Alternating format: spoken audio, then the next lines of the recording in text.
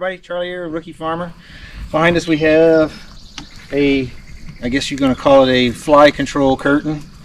So in this video we're going to cover how to build this right here for your cows to help control the flies in their eyes, help control, keep from pink eye. Um, in here we have a oil-based mixture with permethrin and this is a wicking system and in this video we'll cover how it's made. All right, here we are. We have is the variety of parts and tools that uh, potentially we'll need. You know, basic hand tools. Um, you're going to definitely need a drill, probably a drill at least with a half inch chuck so that you can chuck in with a larger bit. Some wrenches, that kind of stuff to be able to work the pipe tap. But we'll just go over this items. So you're going to need a piece of PVC pipe. This is 4 inch schedule 40. Do not use uh, schedule 20 you want the schedule 40 um, because it's much thicker wall and it'll be a much stronger fit. You can use 3 inch but I like the 4 inch simply because it holds more uh, of the uh, material in it so I don't have to refill it as often. So this particular item or one that I've, I've already pre-cut it to the size that I want you could pretty much make them any size that you want. Um, it just requires more fittings, more uh, rope, etc. Anyways, um, for this one here, we're going to uh, pre-make this one. Like I said, schedule 44 inch pipe. You're going to need two schedule 40 caps, or excuse me, four inch caps. These are glue on. You're going to need some glue, PVC glue. Um, I happen to use the wet or dry stuff. Um, it's just a habit that I have. Um, so you're you're gonna need need some PVC glue, four inch caps. You're going to need these. I got I believe at Lowe's. You pretty much get it at any one of the big box stores. This is half inch rope. This is double braid rope. So if you'll look at the style, it's not the three strand stuff that's twisted like so. Do not get that type of rope. Only this double braid. It comes in nylon or this one happens to be polypropylene. It's really soft um, and it's basically got a core in it with a braided outside layer on there. Um, and it works the best for wicking the material. So um, depending on how high you want it, you need to pre-calculate how much of the rope that you're going to need. Um, I probably have more than I need for this particular size one. So I bought two packs of them. I said, this is the half inch. Um, I found at the big box store it was cheaper than buying it on Amazon. Um, for a variety of these items that I'm going to show you, um, you know, the common PVC pipe, um, any nuts, bolts, glues, um, you can get those at your local big box store, zip ties or wire ties. Um, these particular fittings are special fittings these are um, these are basically they call them uh, liquid tight fittings. Um, the link will be down below in the description. This is for the half inch MPT, and these are like cable clamps. Um, I'll go over those a little bit later on, but you're going to need one for each strand of rope that you're going to have.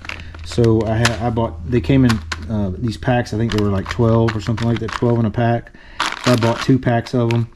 Um, so you're going to need these liquid tight fittings. You're going to need a, this is going to, these are half inch NPT pipe thread that's on here. So you're going to need at least, I bought a whole kit, uh, but you're going to need a half inch NPT pipe tap. You're going to need, it calls for a 25 64ths but the 11 16th is more common and, and, so it'll be a 64th under being that we're tapping plastic i don't foresee that being a big big deal. So no need i don't think you really need to go out and buy a special 25 64 or 45 64ths drill bit when 11 16ths is more than adequate for it. You're going to need a, another drill pack so you can drill your pilot holes and then make them larger so you don't stress it with that big giant bit going into that plastic you potentially crack it. So you're going to want to go up stagger in sizes.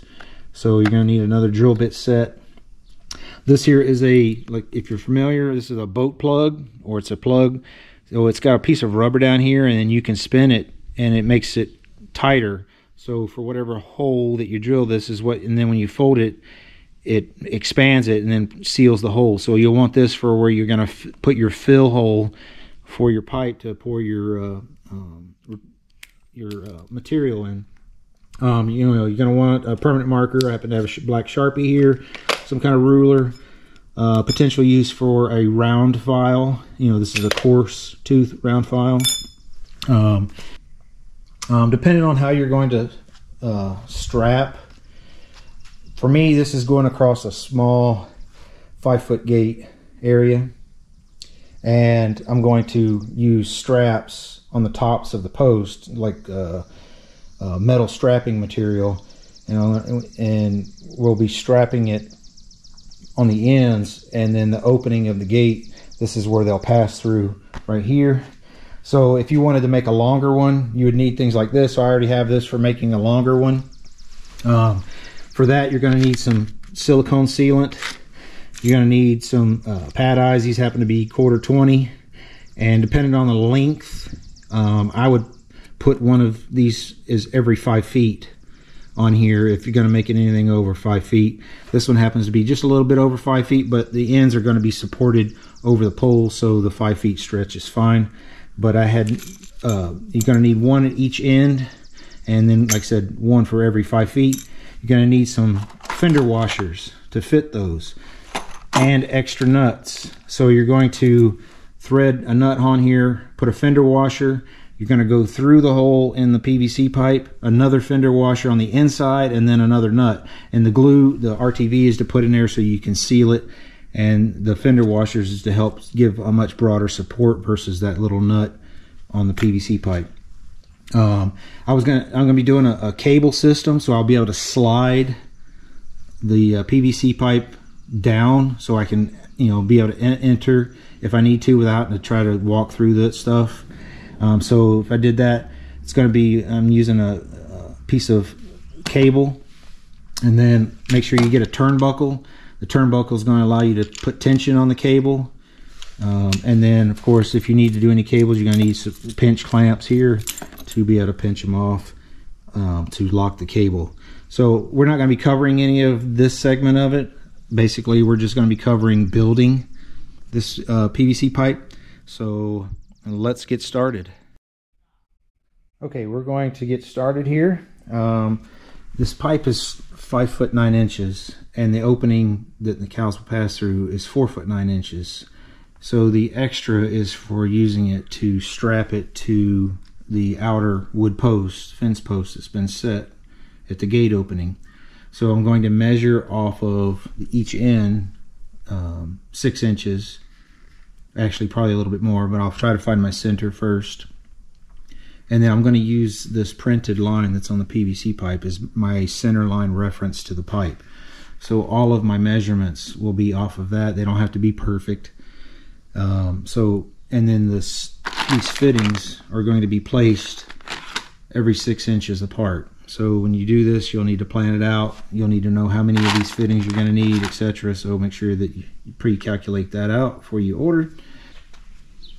Okay, so I started with a um, quarter inch drill bit, and then I went to a half inch, and then of course to the 11 16ths.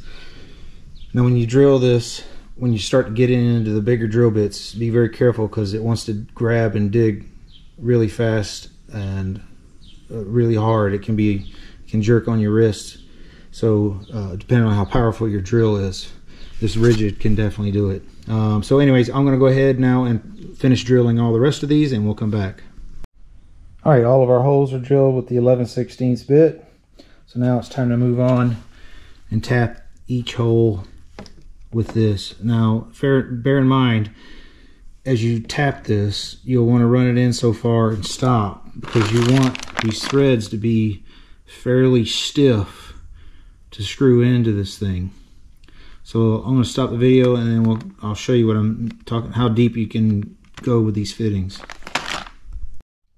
All right, I have my first hole tap and then this is the fitting. It has a seal and a nut and I'm not going to use the seal either because uh, it's just not thick enough to and I want to be able to tighten this thing on fairly tight. So um, because this is where your rope is going to pass through.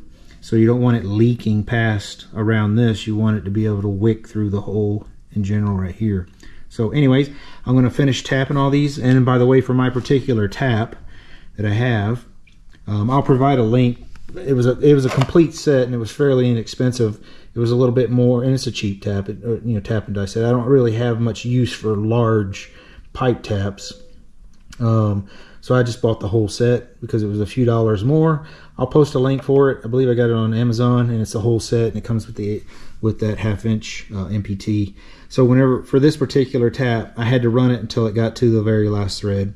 And then that made this still, once it gets in there, it's really tight. Um, and you can feel the, the, a decent amount of friction trying to turn it in there, which is what you want. So when you start to do yours, if you have a different tap, or make sure you, you test these fittings, go a little bit and then test it again before figure out how deep you need to go in the holes to make sure that you don't go where it's too sloppy. You don't want this fitting being sloppy in the hole. So anyways, I'm going to finish tapping all these and we'll be back. All right, all of my holes are now uh, threaded for the half inch MPT pipe thread. So what we're going to do next is go ahead and cut all of the links that I need um, for here this particular one the the height where this is going to sit is right about five and a half maybe six feet in the air you know over the top. So I'm going to cut my ropes to 66 inch links and when I cut each link I'm going to probably use a, a torch um, because this will fray out on you. So you'll want to uh, melt the ends when you melt the ends be very very careful. It's super hot. It touches your skin. It's it's uh, it will burn you very badly. So I'm going to go ahead and cut my links. And once I get them all cut and they're all uh, uh, seared at the end we'll touch base again. I figured I'd go ahead and show you how I would do it. Um, this is uh, just a you can use propane. This happens to be uh, MAPP gas. Um, same difference. This is an auto start uh, propane torch. What I'm going to use is I have an old uh, Sawzall blade that's no good. And I'm going to use the torch to heat that extremely hot. And then it'll be like a hot knife. And then you can just go through your mark and cut right through it. And what it'll do, I'll show you the end, is it will sear off the end just like that and then it's nice and hard and it won't fray out. It won't fray while you're cutting it, so you'll get a nice, good, clean uh, end on your cut. So I'm going to go ahead and cut this, my links, and then we'll come back. All right, now all my rope ends are now done on both ends. They're cut to 66 inches. The reason I wanted a little bit longer is that we're going to be have part of the wick will be inside the tube and then the rest will be outside. So sometimes you, it, once the cows get used to it, then you tie, you can tie knots at the very end of it to keep a little bit of extra weight for wind, etc. So I'm going to go ahead and start pulling these all through. And then once I get these through all the fittings, we'll touch base back and we'll go over further. All right, we are back. So what I've done is I have all my fittings through here. Like I said, we don't need the, the nut and the seal that's on there. So I went ahead and pulled every one of them through. And then I've taken, like I said, you're going to need a bag of zip ties. I used two. These are uh, 8 inch. I got these, I think, at Harbor Freight. You know, there's a 100 piece pack. And then I put two zip ties. Now make sure you put these zip ties on um, as tight as you can so that they don't slide. So what that does is it keeps it from being able to be pulled through the fitting. And it still needs to be small enough to fit inside the hole. So if you had to if you had to change a rope for some reason that you could. So henceforth the reason why you're doing it like that. And it'll still allow the uh, insecticide mixture to leach through and wick down the, the actual tube.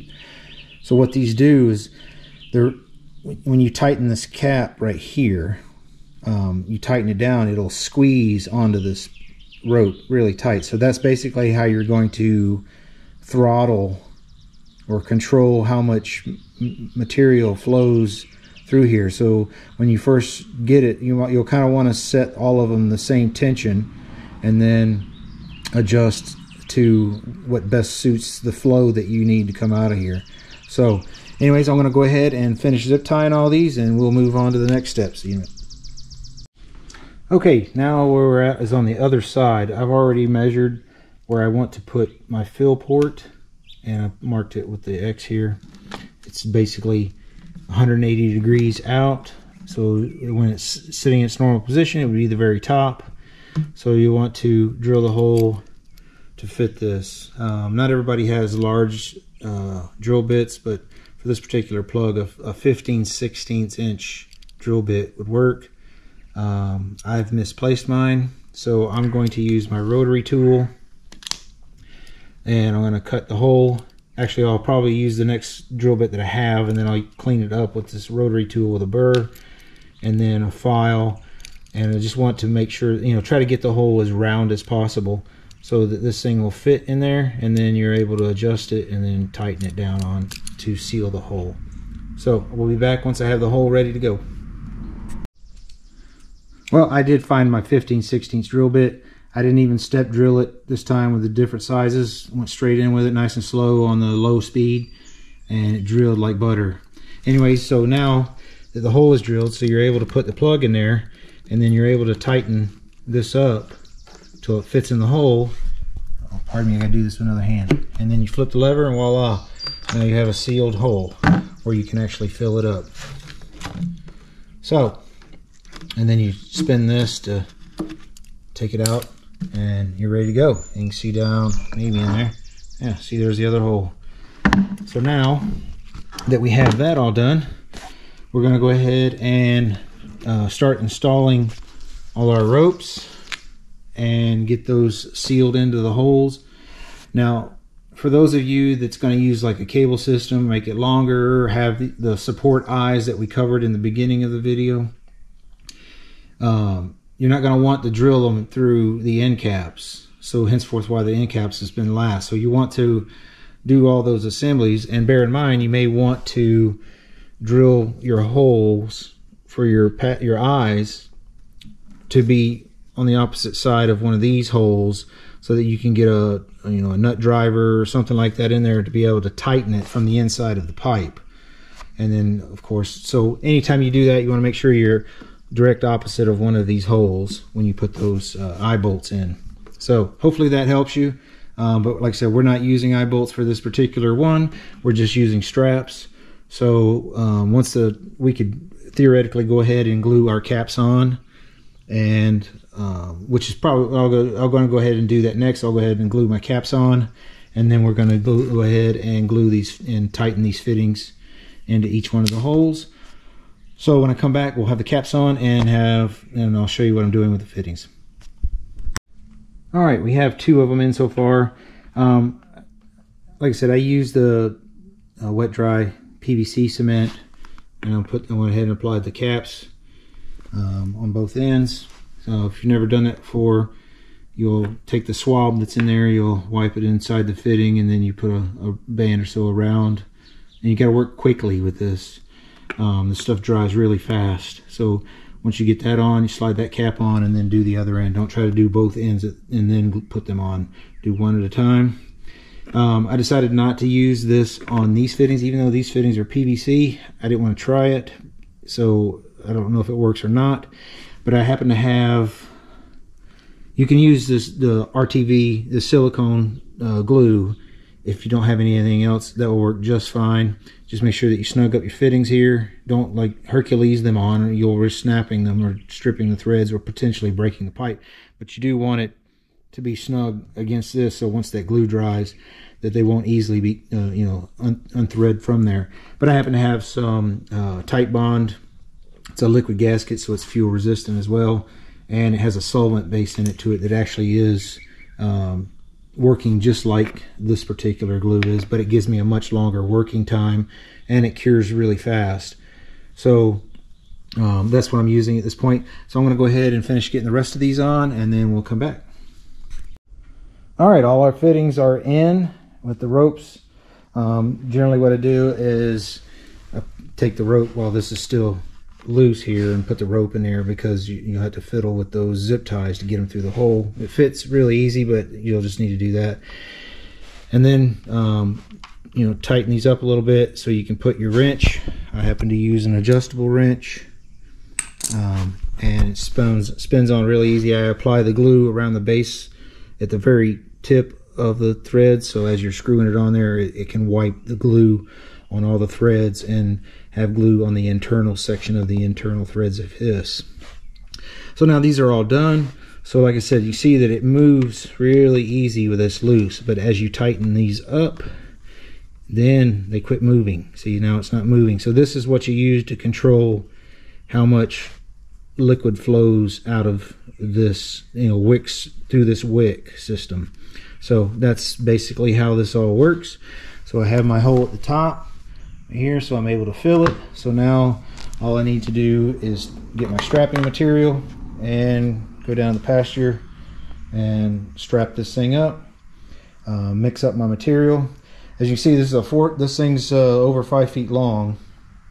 So I, I, haven't done the math to figure out what, how much uh, volume of materials on it, but generally I would recommend mixing up at least five gallons worth of your material and I'll show you the material that I'm the insecticide that I'm using. And I'm going to be mixing it with a little bit of diesel fuel and most likely hydraulic oil um, because the material that I'm using uses it says to use a, a fuel oil or an oil. Um, there's other oil options out there um, like mineral oil but they're extremely expensive. Um, so it would be very costly. So if you want to go the mineral oil route, or you can buy the the oils that they use for those wipes. I can uh, the the normal wipes that's, that's available out there on the market now. You could use that oil to pour in here. Um, there's you know whatever your choice is. Um, I've tried using uh, vegetable oil. I didn't like the vegetable oil because the cows were constantly trying to eat the strips um, I guess the vegetable oil was attract, you know, was tasty for them. So I, quit using the vegetable oil. So now I'm going to switch to a, a, fuel oil and put in here. And but anyways, we'll come back when we have this thing mounted and go from there. Hey everybody. All right, I got this thing mounted. Um, I also leveled it, so you want to make sure you do use a level. And you're basically just going to level across the top make sure it's level so that the fluid will not right you know sit at one end or the other. So here it is. All I used was some uh, regular like pipe strap. This is metal banding. You can get those at the big box store. And just some exterior screws screwing it down to the top of the of the piling there. Same thing. This one was a little bit longer in height. I didn't want to cut it so I just basically uh, did the same thing. It's got two screws. Um, I also adjusted the height of the uh, of the lines. I basically put some extra in here. Once the, the cows get used to going through this thing, um, they're skittish for everything. So when they get done, I will probably tie some knots down in the bottom of it um, to give it a little bit of weight. So when they walk through, so what happens is the liquid comes through here, wicks down into the string, and then when they walk in, it just basically it's a, a, wipe. It rubs it on their face. So anyways i gotta go mix up the batch of stuff and then we we'll get this thing filled up and get this uh, ready to use for the cows. All right this is what i got. There's some inexpensive hydraulic fluid. Um, you can use motor oil. I've heard people use used motor oil. You know you've already got your money's worth out of it so use it for something else. Um, but i've kind of heard that it you know, certain color animals it can stain their uh, fur. So I don't know about that. Um, I'm only going by, I just use this and I use, uh, is it permethrin? Um, you got to make sure that you get the stuff that's, it, that's usable with oil. Um, I think they all are, but this one specifically mentions uh, mixing it with oil in the instructions. So basically I mix up five gallon buckets worth of it and then I can go out and fill the uh, the the pipe, you know, periodically, check it, and then. Uh, but that's what I'm doing. So we're gonna go put some on there, and we'll be back. Look at them, they're already getting nosy.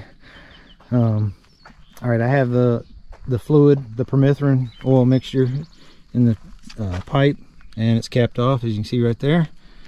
And I loosen the caps up so it'll allow the oil to start wicking down. Once it's completely saturated it'll it'll maintain it much better. Um, it'll eventually if it's too loose it'll be dripping a lot down here on the ground. So you'll want to adjust these fittings. So keep an eye out down on the ground where that's at. So all right we have it finished. Um, I went ahead and tied knots down in the bottom to give it a little extra weight to hold these down I've already went through each individual nozzle and I basically wicked the rope up, pushed the rope back through, and then that helped saturate it, and then pulled it back down. I did get a lot on my hands, and then snug down the uh, tension on these, where you can just lightly tug on the rope and it ain't gonna pull out. So all the rest of these are all done like that. Uh, so what we'll do is we'll monitor this and see what the drip ratio looks like on the ground, and then tighten as we need to. So that's about it for the uh, fly control system. Please like and subscribe, and we'll see you on the next one.